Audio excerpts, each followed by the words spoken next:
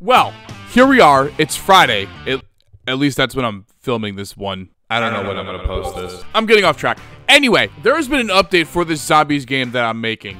Let me tell you, I am thoroughly impressed. You, you thought I was going to say something mean, didn't you? Except the clip they gave me has no sound or music. Oh, there it is. It has nothing really to move it along. See, look, look, look, look, look, look, look, look, look, look.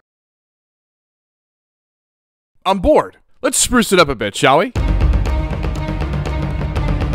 Oh yeah, epic running sequence. Sorry, I'm done. It's taken them about a week to complete this, and I'm actually impressed. I wasn't expecting a full-on working prototype, in case you're wondering. Even though it would have been nice to see some zombies die, Sorry. I cannot wait to see this actually in action with some awesome equations, zombies, guns, and a full developed map. He who will not be named yet. You are doing a good job. Keep it up. Who knows, maybe I'll do a face reveal, even though I, I, I still don't know what he, looks, looks like. like. Support this project and many others by going to Patreon and give me your money!